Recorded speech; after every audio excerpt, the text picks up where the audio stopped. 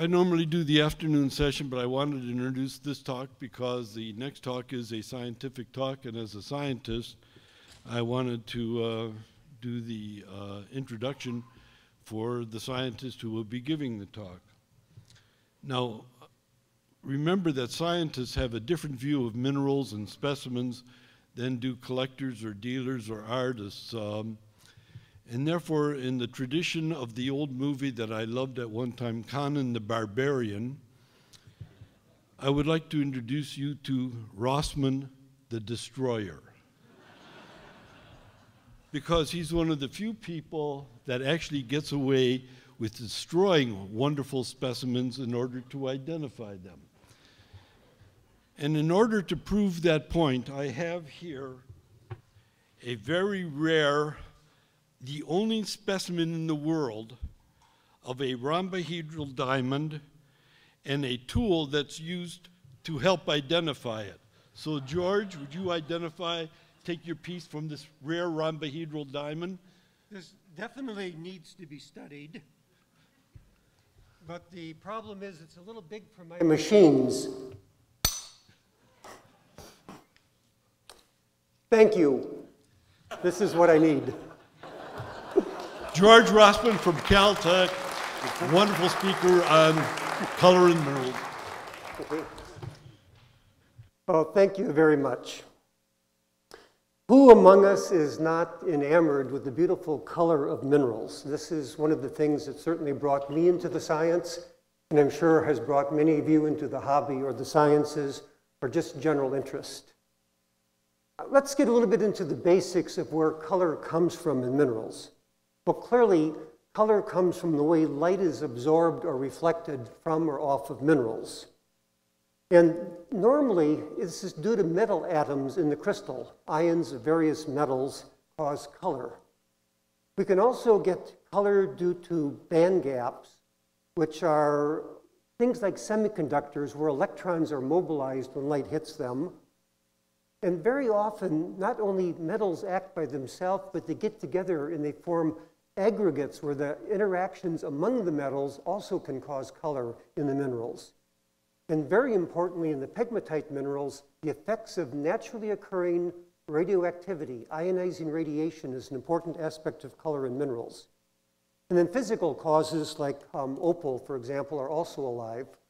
What I want to do is to talk a little bit about each of the first four of these effects, giving you just a little bit of the basics and an insight into the sum of science that we do when we study color in minerals.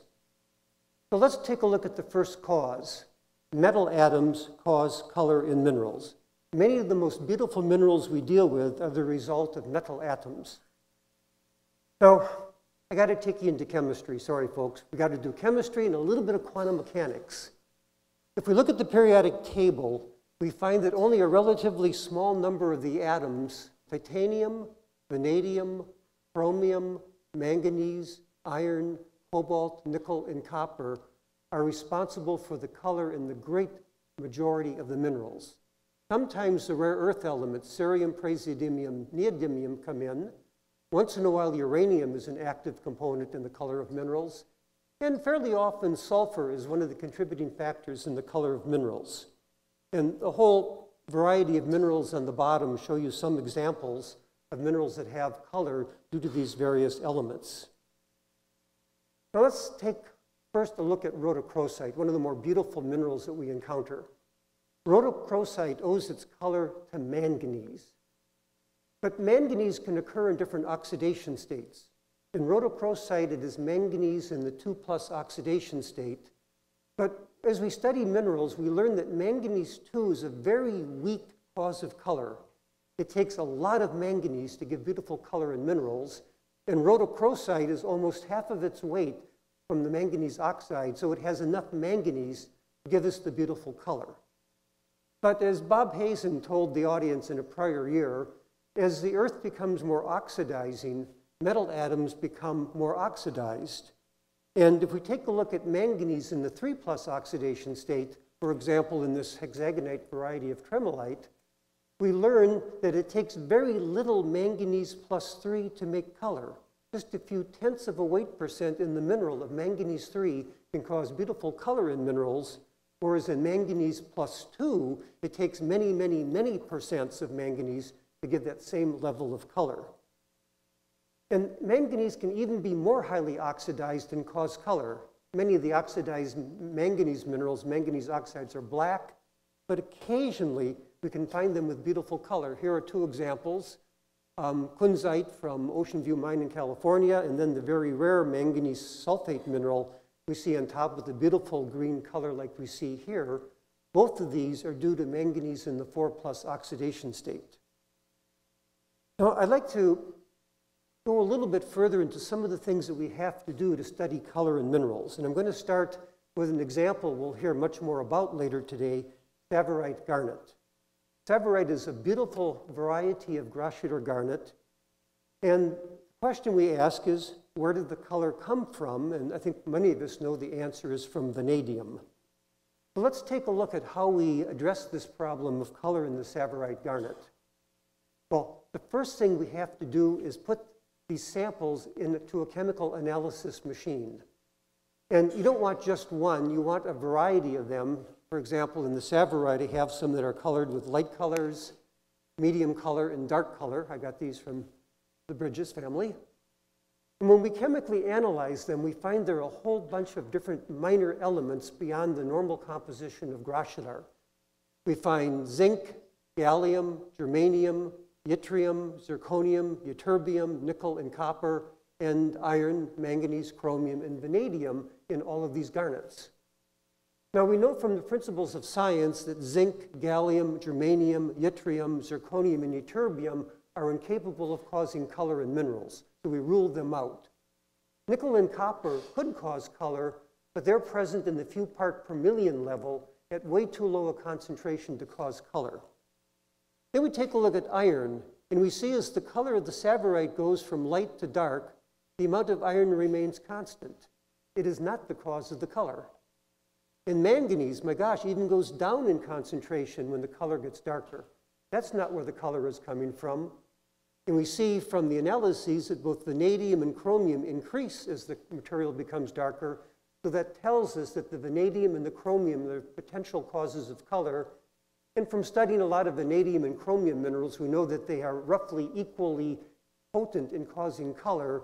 So because vanadium is a dominant metal, vanadium is a dominant cause of color in the tsavorite. Now, the green color that we see in tsavorite, in fact, is typical of the green we see in a lot of different minerals. Here are some examples of vanadium minerals, diopside from Tanzania. They say chrome tremolite from Tanzania, but it's really vanadium, not chromium. And we see titanite again from Tanzania. All of these green minerals owe their cause of color to vanadium in the plus three oxidation state.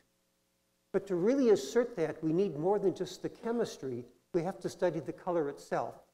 We put the samples in machines called spectrophotometers, and we measure the absorption of light when it goes upward versus wavelength in these various colors from the infrared through the visible into the ultraviolet. And this particular pattern of light absorption that we see here in titanite in two different crystal orientations is a very diagnostic pattern of vanadium. So we know, in fact, that vanadium is a dominant cause of the titanite and the other minerals in the tsavorite as well. So it's chemistry and spectroscopy we need to study color. Now, there are other minerals that have color that is green, but not necessarily due just to vanadium. For example, chromium. Who has not seen a beautiful green emerald? This is due to chromium.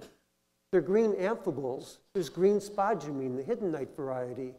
Green pyroxenes, garnets, and tourmalines, and many, many, many other minerals that are green, all of which are due to chromium. Chromium, in fact, in the plus three oxidation state. So you may assume that all minerals contain chromium plus three would be green. No, some of them are red. Um, yeah, ruby is red. I think we saw that earlier today that ruby can be red. In fact, that's by definition what ruby is red corundum. Is that the only example of red? No, when I was in Myanmar, I picked up these beautiful spinels, and they're also red, and they're also due to chromium. Red, green, green, red. What's going on? We got a problem here. So this is the sort of thing I like to address. I like to address these problems about the origin of color. And now I got to take you into the realm just at the edges of quantum mechanics, people. We got to look at the electrons that are inside the atoms because it is the electrons that are causing the color ultimately. Those of you that may have remembered chemistry learned that electrons reside in these volumes, oops, going on here, called orbitals. In, in the orbitals, there's a certain volume in which particular electrons occupy. And three of the electrons occupy orbitals where, where the oxygen atoms are. The electrons sneak between the oxygen atoms. They, they go right between them. But there are two orbitals where the electrons collide with the oxygen atoms directly, head-on collision. And in these two orbitals upstairs here, we have the electron charge on the oxygen, which is negative, repelling the electron charge of the electrons. And two of them have this repulsion that takes a lot of energy to overcome, where three of the orbitals sneak between the oxygens and take a lot less energy. And we can diagram that on a diagram that shows on an energy scale, we have three lower energy orbitals and we have two higher energy orbitals. And chromium in the plus three oxidation state, that's our ruby, has three electrons that are naturally going to go in the lowest energy position, the three lowest orbitals. Now, if we shine light on the sample, we're going to move electrons. We're going to force one of the electrons to jump upstairs to the higher energy orbital, but that is going to take a lot of energy to overcome the repulsion. So the energy of the light is what's necessary to drive that electron upstairs. And because we are in this repulsive situation, it's going to take a fair amount of energy to make that happen. Now, with this principle at hand, we can begin to understand why ruby is red and emerald is green. The difference is that in the corundum structure and in the spinel structure, the distance between the oxygen and the chromium atom here at the center is relatively short compared to the distance between chromium and oxygen in the tourmalines and the garnet. Because the oxygen is further away in the garnet and the tourmaline, it takes less energy to overcome the repulsion because the oxygen's further away. It doesn't repel as much. But in the tightly packed structure of corundum and spinel, the oxygen is very close to the chromium, and that poor electron needs a lot of energy to overcome that repulsion, so it takes a more energetic light to make that electron move. And we can measure that quantitatively in our spectroscopies. We put the samples in the machine, and we find on an energy scale ultraviolet light and violet light has a lot more energy than red light. And my gosh, chromium in ruby, the red color, absorbs light at a higher energy than in the green minerals. Now, it's not where the light is absorbed that's important, it's where the light is transmitted that makes the color. And we see as we look at the transmission window where light is not absorbed, it's at higher energy in ruby. It's in the region where the human eye is not very sensitive, sort of in the deep blues and into the violets. So most of the light that we see in a ruby is coming through here that corresponds to the red, and that's why ruby is red. But in the longer distances between the metal and the oxygen, we move this absorption to lower energy, and the transmission window moves to lower energy, and that's in the green, and that's why emeralds are green. So we can understand at a very technical level from theory from quantum mechanics and from measurement why these minerals have different color. That's theory. Wouldn't it be nice if somehow we could take a mineral and experimentally make this oxygen chromium distance change in the lab? What if we could take a sample and stretch it apart so the actually we move the atoms further away? We can do that. When we heat a crystal, the crystal expands and the oxygen moves further away from the chromium. So I'm going to take a sample of a green, or sorry, a red chrome pyrope from a deep diamond mine. We're going to heat it up in a furnace. We're going to see what happens to the color when we expand the crystal at high temperature. We're going to move the oxygen atoms further away from the chromium, and let's see what happens. Here's a little movie. Cold, hot. Cooling back down, it turns red. Warming back up, it turns green. Exactly like our theory would have predicted. You can do this on a high temperature hot plate at home. You can see these chrome pyropes change color. Some minerals don't move quite as far as that when they're heated, but all of them, when they're heated, all of the red chromium minerals move to lower energy, moving towards the green, maybe not all the way there. Okay, that's what we can do with single metals, but even more importantly, in a lot of minerals, it's when metals get together and interact with each other that we have color that is even different from the metals all by themselves. And one of my favorite minerals is tourmaline, so let's take a look at that. The beautiful pale blue tourmalines that we see, or even the darker blue ones, are often just due to iron in the 2 plus oxidation state all by itself. Only iron, nothing else. But if we add a little bit of titanium to the mineral, just a fraction of a percent titanium, they turn green. Iron plus 2 and titanium gives green. Iron by itself is blue. And what's happening here is that when you put iron and titanium next together and shine light on it, we move an electron from the iron over to the titanium. Iron is oxidized, titanium is reduced. That process takes energy. It takes a lot of energy to happen, and that changes the color of the mineral, and that is why we have green tourmalines. And this process is probably the most important process of causing color in common rocks granites, basalts, all of them owe their dark color when you see dark minerals to this process between either iron interacting with iron or iron interacting with titanium. All the dark micas, the amphiboles, the pyroxenes, they are dominated by this interaction of iron with titanium and iron interacting with iron. And kyanite and cordierite and corundum and all sorts of beautiful other minerals are again low concentrations of these things causing the beautiful colors in the minerals we've come to know and love. And the exact color depends upon the structure, whether we share edges with two oxygens between the metal atoms, or if we share faces with three shared oxygens. That's going to modify the color between greens and blues. But this is the general process that many of the beautiful minerals occur. Now, let's get to some of the heavyweights here. Radiation. The world is naturally radioactive. There's uranium and thorium in the ground, and much more importantly, there's potassium in the ground. Potassium is a very common element. But a small amount of potassium is naturally radioactive, and it gives off gamma rays when it decomposes. Let's take a look and see what radiation does to minerals. Zircon is a beautiful example. So let's talk a little bit about the radiation effects in zircon and what it does to the color. In Sri Lanka, a lot of the zircons come out of the ground with a sort of brownish orange color, sometimes called hyacinth color. But many, many years ago, hundreds of years ago, people learned that if you take these brownish red zircons and heat them up in a charcoal fireplace or wrap them in rice bread and heat them, many of them will turn blue like the ones on the top of the photograph. Now, why does this happen? Why do we get these color changes taking place in zircon? And this has to do somewhat with the radiation.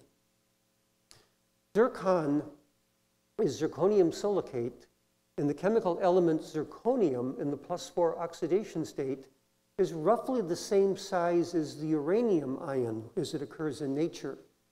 So almost all zircon incorporates a small amount, sometimes a large amount of uranium in its structure when uranium replaces zirconium. But uranium is radioactive. It has a half-life of around 4 billion years. And as it decomposes through radioactive decay, it bombards the zircon from within with all these different forms of energy, alpha particles, electrons, gammas, and broken fragments of atoms. And the energy of these decomposition products can cause color. And here's how it happens. Let's take a gamma ray. When the gamma ray comes shooting through the crystal, it can come in the vicinity of an electron on an oxygen atom. And the electrostatic energy of the gamma ray is immensely greater than the energy by which an electron is bound to an atom of oxygen. So when the gamma ray comes shooting by, it can literally strip the electron off of the oxygen atom, leaving the uh, oxygen electron deficient and making the electron go bouncing through the crystal, slowing down, hitting atoms, till it finally comes to rest somewhere within the crystal. So where do these electrons end up? Well, many places, but here's one of the places. There's no such thing as a perfect crystal in nature. All of our crystals have defects in them at the atomic level. And one of the common defects is where an atom is missing. In this little cartoon, a negative ion is missing in the crystal structure. This happens quite commonly in crystals.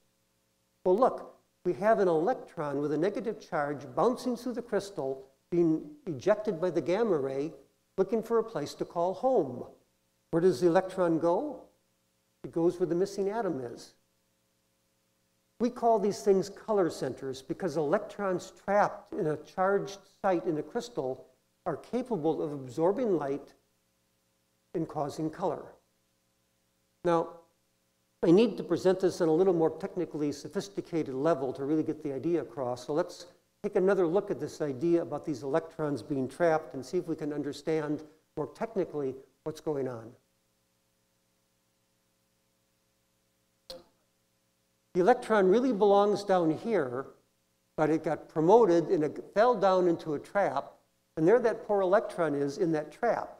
And every time light comes by, the electron jumps up with excitement and it absorbs the light, causing color, but it can't get out of that trap. We call these things color centers, or in the German, F center for Farbe, color center in German. Now, that causes color. That is the red brown color in the zircon. But how do we explain the blue color in zircon? Well, technically speaking, I think I can get into this a little bit like this. If you apply enough energy, you can drive the electrons out of the trap. That's what the furnaces do. And the electron goes back home. And then when the electron gets back home, the blue color we see is the color of the uranium in the zircon, not due to the color centers. So there are many, many, many different minerals that have color related to things like this. And a lot of these are pegmatite minerals, one of the things I dearly love. Let's take a look at one example of a pegmatite mineral where radiation plays a part in the color, and maybe I can give you a little bit of insight to some of the complexities of these radiation colors. Who in the world does not love the beautiful color of Amazonite feldspar? It's just gorgeous blue color. But feldspar comes in a variety of colors, and three of them I want to touch upon briefly today are the microcline that has the blue Amazonite color, the yellow color of a lot of the common plagioclases like the Oregon stone and the stuff from Mexico, and the smoky color that we see in some of the sanidine, smoky feldspar, not as commonly encountered, but very pretty nevertheless.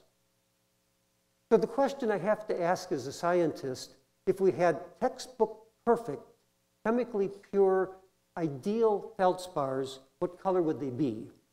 We look at the chemistry of the feldspars and we see they have calcium, barium, aluminum, potassium, all these different chemical elements. And these are the chemical formulas of the feldspar. But every one of those components in the textbook ideal feldspars is incapable of causing color. Theoretically, I would expect pure end-member feldspars to be absolutely colorless. How do we test that? Well, we get some. We look at them, and there they are. A whole series of different end-member feldspars, chemically pure, and all of them are colorless, as we would expect from the theory. So where does color come from in feldspar? It can't be due to the ideal components, it has to be other minor components. In the case of the yellow feldspars, like some of the sunstones and whatnot, the sanidine from Madagascar, the color comes from iron. And it comes primarily from iron in the oxidized 3 plus oxidation state. All of these feldspars, the yellow color, is due to a little bit of iron replacing the aluminum in the feldspar. Now again, we know this because we take spectroscopy. A feldspar is a low symmetry crystal. We need to take the spectrum in three different directions in the crystal to get all the possible responses. But we see in the visible portion of the spectrum, iron plus three is absorbing the violets, the blues, and into the greens, letting the yellows and the reds come through that gives us that orangey yellow color. There's also iron plus two in most common feldspars, but that absorbs light in the infrared portion of the spectrum where we, the human observer, cannot see it. Very strong absorption, but it's excellent that it does, because when people do remote sensing of Mars, for example, with satellites orbiting Mars and looking down, measuring the spectra of Mars, it's from the absorption here in the infrared that we know we have feldspars on Mars. So even though it doesn't contribute to the color that we enjoy, it's certainly very technically important that we have these light absorptions in the infrared. But let's come back to Amazonite, the blue, beautiful colors of Amazonite feldspar. What's going on here? Well, the first thing I have to do is do chemistry. And we do chemistry, we find that every single blue or bluish green amazonite feldspar that anybody has ever looked at contains a small amount of lead as a minor component in the feldspar. So you might jump, jump to the immediate conclusion that lead makes the color. But the trouble is there are some feldspars that have lead in them, like this white area here, where there's no color at all, even though we have a lot of lead. So what's going on? Life has to be more complicated than just lead. On the other hand, there is no amazonite that does not have lead. Well, the next thing we have to do is we have to look at the spectroscopy a little bit further. If we go into the infrared portion of the spectrum, we find that all amazonites that are blue contain water. And we see that in the infrared spectrum. The absorption out here in the invisible portion of the spectrum tells us there's water molecules, H2O, inside the feldspar. And if we take a look at the lead-containing feldspars that are not beautiful blue color or green, they basically don't have any water at all or just tiny, tiny traces of water. So somehow we have to conclude that both water and lead are part of the process that gives rise to amazonite color. Now, if we go into the lab and get some bottles of lead chemicals and look at them, they're colorless like lead nitrate right here, no color whatsoever. This is lead in the plus two oxidation state, the common oxidation state of lead. And how can this cause color in feldspar, even in associated, it can't, even with water. So something else is going on.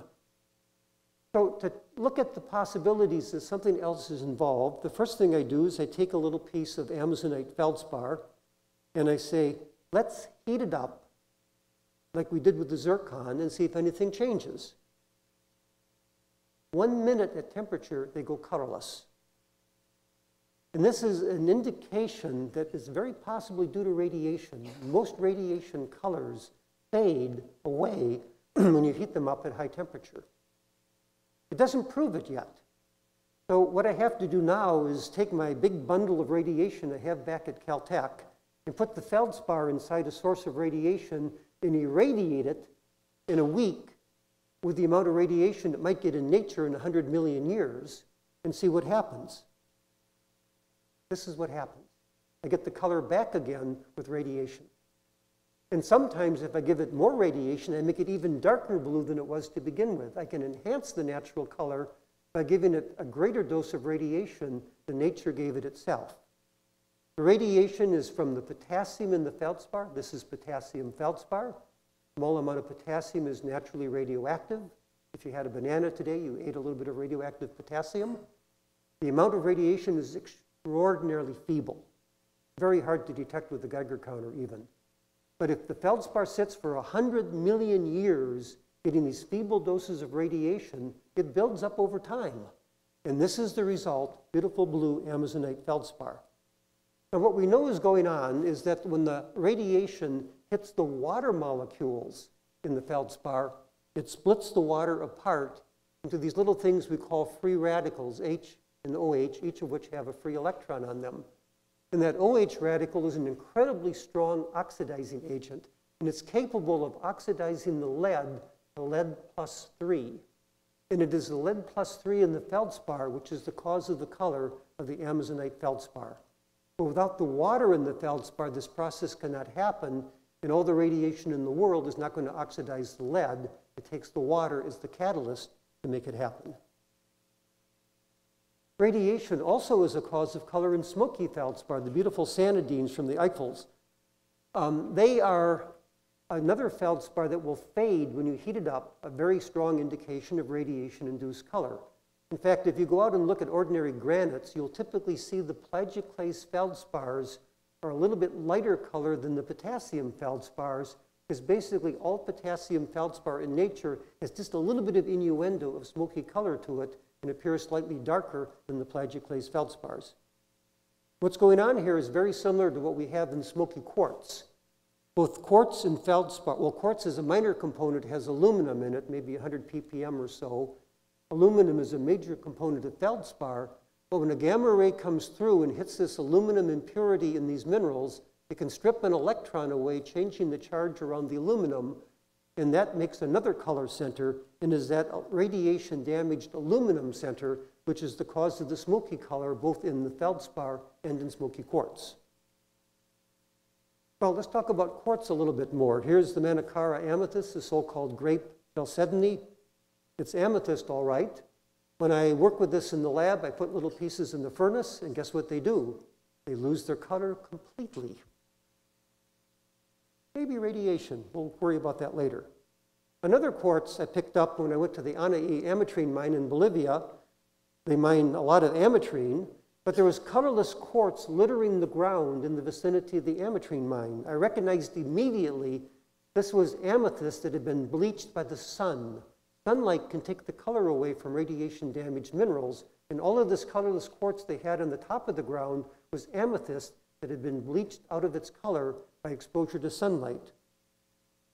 So, why do we think amethyst is radiation color? Well, you go to Russia where they're making synthetic amethyst, and you find that when the amethyst is produced, this is the ametrine, which is both citrine and amethyst, the area that will become amethyst when it's first grown is absolutely colorless.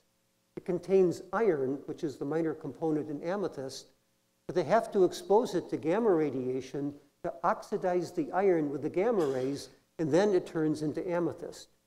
So I did the same thing with the Manakarra, the grape chalcedony. I did the same thing with the material I picked up in Bolivia.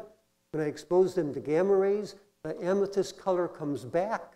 And if I give it a lot of radiation, it even comes back with a darker color than it was naturally found in the ground. Because in the lab, I can give it hundreds of millions of years of dose in a short time, where nature may have only acted for a few tens of millions of years. So many of the pegmatite minerals, tourmaline, kunzite, some of the apatites, and a whole variety of others, danburite and so on, owe their color to ionizing radiation, a major, major source of color in the minerals that we all have come to know and love. But there's another cause of color that's important in a few minerals, and this will be the one I like to bring forth, and this is inclusions in minerals. By inclusions, I mean foreign phases that are present in the host mineral. And this beautiful example of a star appearance in rose quartz is an example of exactly what I'm talking about. Um, yeah, I get to destroy things. I get to destroy rose quartz. Not this one in particular, but I'll take rose quartz and I'll crush it up make a powder out of it, a coarse powder. And then I'll soak it in hydrofluoric acid that dissolves the quartz and makes a gas, silicon tetrafluoride, which goes away and after I wash whatever is left over, I end up with these mats of insoluble residue that notice have the same color as the rose quartz. The mats are less than 1% by weight of the original rose quartz. And if the rose quartz is a deep rose color, I get a rose colored mat left over after I dissolve the quartz. And if it's sort of a more of a purpley rose quartz, I get a more of a purpley blue mat left over. Whatever this material is that is insoluble in the acid is the cause of color of rose quartz. It is not the quartz itself. When we look at these things under the electron microscope, we find these beautiful mats of hair, almost like human hair. And the more we magnify them, the more we realize that this fine fibrous mat, which is the rose color, is the material that's important. And here's a false transmission electron microscope image showing that many of these fibers are just a few hundred nanometers in size, much less than the wavelength of light. And this material is a material, an aluminum borosilicate, somewhat related to dumortierite, but a slightly different structure than dumortierite. And that is the cause of color in all the rose quartz we have looked at for many, many localities around the world. Rose quartz is not rose because of quartz, it's rose because of these fibers. Well, the final thing I'd like to talk about briefly is this concept of band gaps. Band gaps are something familiar to people that work with semiconductors. Band gaps are something that happens when light hits a material and then drives electrons into what we call a conduction zone, where electrons freely conduct throughout the crystal. And a few of our minerals do that. Here are two examples I show you. I show you cinnabar and I show you orpiment. And the thing about band gaps is that we have a region in the, in the infrared coming towards the visible, where these minerals transmit light with very little absorbance. When the pen trace goes up, they're absorbing light. Here we have transmission, transmission, transmission, transmission, transmission. Then very suddenly, it begins to absorb light with extreme efficiency as we drive these electrons into the conduction band. And depending upon the energy that it takes to drive those electrons through the conduction, we get different colors. In cinnabar, we notice the band gap happens right here at the edge of the red, so only the red lights make it through. Cinnabar is red. With orpiment, we get more of the yellows and the greens mixed together, and all of these things kind of mix together in the human eye to make sort of an orangey color. But again, particularly sulfides and tellurides and some of the sulfosalts behave this way and have that as the cause of the color. So hopefully we can get a few take-home exam or ideas today from what we talked about. A lot of the minerals, particularly the ore minerals, the coppers and chromium and things like that, owe their color to metal atoms, primary metal constituent, which part, is part of their primary chemical composition. In many cases where we have oxidized minerals, things that form as the earth became more oxidizing, we have minor amounts of these metals in many of the silicate minerals in particular that we deal with, but it's the highly oxidized minerals, manganese, chromium, vanadium, iron, and other things that cause beautiful color in minerals. And then, importantly, in a lot of the pegmatite minerals, radiation is an important cause of color in many of the minerals that we come to know and like, pink tourmaline, for example, and the other examples I showed today. So, of the roughly 5,300 minerals that are known to exist today, believe it or not, only about 400 of them have been exactly examined for causes of color. So, I guess for people in my work, there's still job opportunities in the future. But I can say this kind of brings me to the end. But if you have questions about this, I'll be happy to talk with you during the breaks afterwards or during the dinners and discuss color in your favorite mineral. And if you have samples you want to give to me, like this beautiful sample that I had here earlier, I'll be more than happy to consider looking at their causes of colors as well. Thank you. Thank you. Thank you, Robert.